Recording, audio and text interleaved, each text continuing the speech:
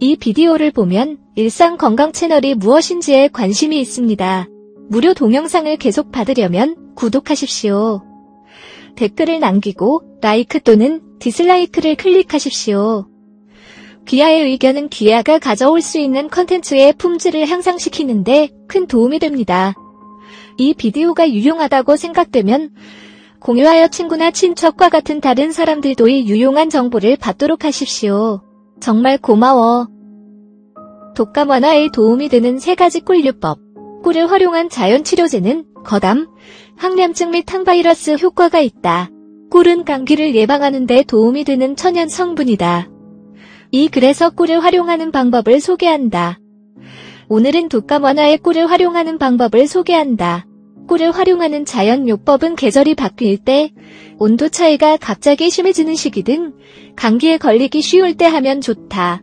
자연 요법에 대한 지식이 있으면 필요할 때 요긴하게 활용할 수 있다. 꿀이 천연 항생제라는 것을 알고 있는가?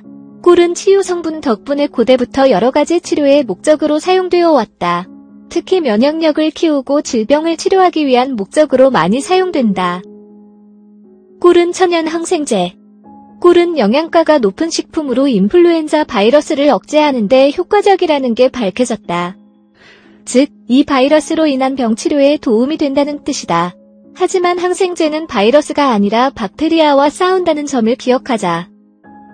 꿀에는 항산화 및 항염증 성분이 함유되어 있다. 뿐만 아니라 프리바이오틱스 성분도 함유되어 있으며 심혈관 기능을 향상시킨다.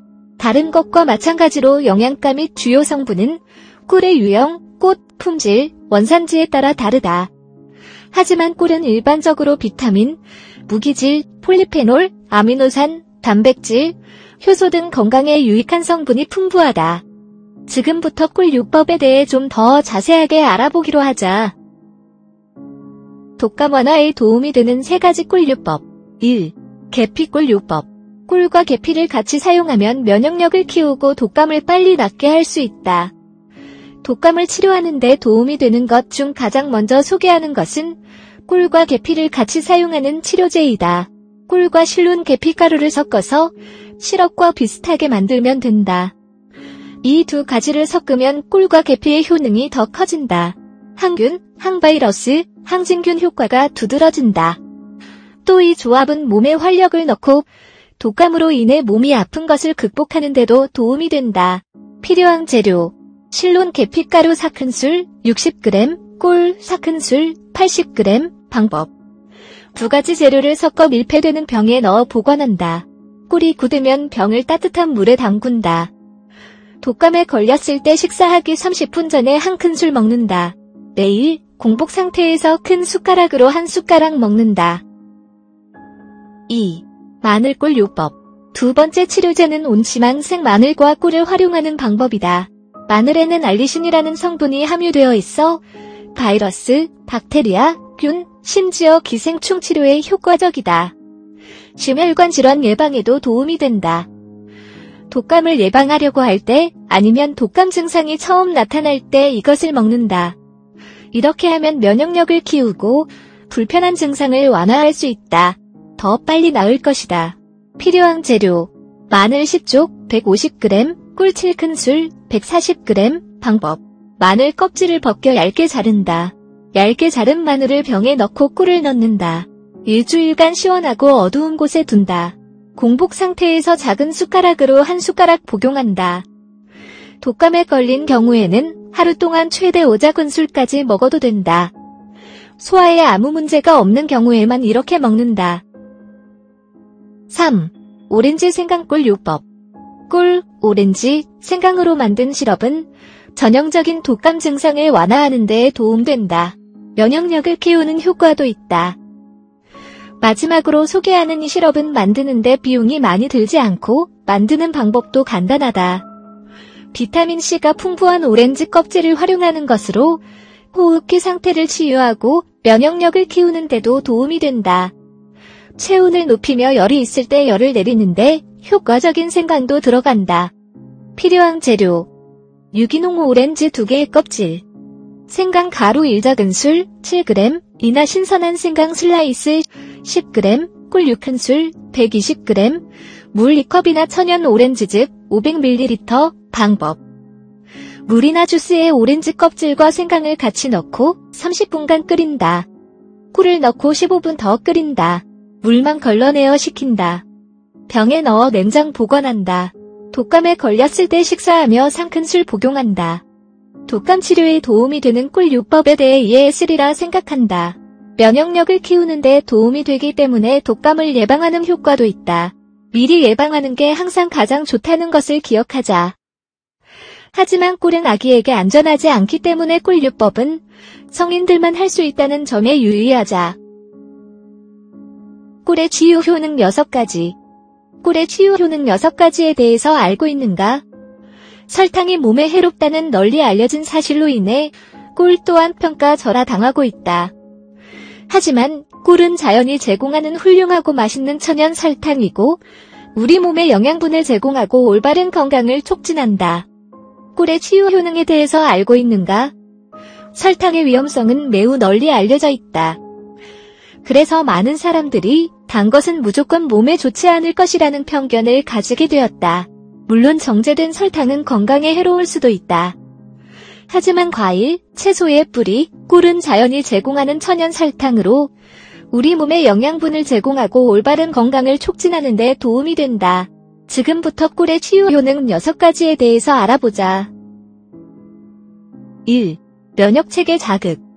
꿀의 치유 효능 중 가장 중요한 부분 중 하나는 꿀이 비타민, 미네랄, 박테리아로부터 우리 몸을 보호하고 면역 시스템을 강화시키는 엔자임으로 가득하다는 것이다. 기침, 목 아픔, 코 막힘과 같은 감기 및 독감의 증상이 있다면 꿀을 섭취하거나 다른 치료법과 병행해 꿀을 섭취한다면 좀 더 좋은 효과를 볼 수 있다. 면역 체계를 강화하고 싶다면 매일 뜨거운 물에 꿀 한두 큰술을 더해서 먹는 것도 좋다. 좀 더 효능을 향상시키고 싶다면 신선한 레몬즙과 계피를 조금 넣는 것도 좋은 방법이다. 2. 체중 감량 아침에 일어나 빈속에 뜨거운 물에 레몬과 꿀을 섞어서 마시는 것은 많은 해독 프로그램에서 빠지지 않는 요소 중 하나이다. 이것을 매일 반복하면 간 청소, 독소 제거, 체지방 제거에 도움이 된다. 최선의 결과를 원한다면 뜨거운 물에 꿀 1큰술과 레몬즙을 섞어서 매일 아침 식사 전에 마시는 것을 추천한다. 하루의 시작은 물론 하루를 마무리하기에도 매우 만족스럽고 안정을 취하는데 도움이 되는 음료이기도 하다. 3. 심장질환 위험 감소. 꿀의 계피를 섞으면 심장의 동맥과 정맥 건강에 도움이 되고 혈액 내 콜레스테롤을 10%까지 감소시키는 것으로 알려져 있다. 꿀과 계피를 섞어서 정기적으로 섭취하는 경우 심장마비의 위험성을 낮추는 것은 물론 재발 가능성을 예방하는 데에도 도움이 된다. 이 효과를 얻고 싶다면 따뜻한 물에 꿀 1, 2테이블 스푼과 계피 1월 3일 작은 스푼의 양으로 섞어서 하루에 한 번 마시는 것이 좋다. 4. 소화불량 완화. 소화불량으로 고생하는 이들에게 꿀의 살균 특성은 위산을 줄이고 소화를 돕는다. 꿀은 가스를 중화시키고 과식을 했을 때 훌륭한 천연 치료제가 될 수 있다. 식사를 하기 전에 꿀 한 두 큰술가량을 먹으면 소화불량을 예방하는 데 좋다. 하지만 이미 너무 과식을 한 이후라면 꿀과 레몬즙을 따뜻한 물에 섞어서 마시면 소화에 도움이 된다. 5.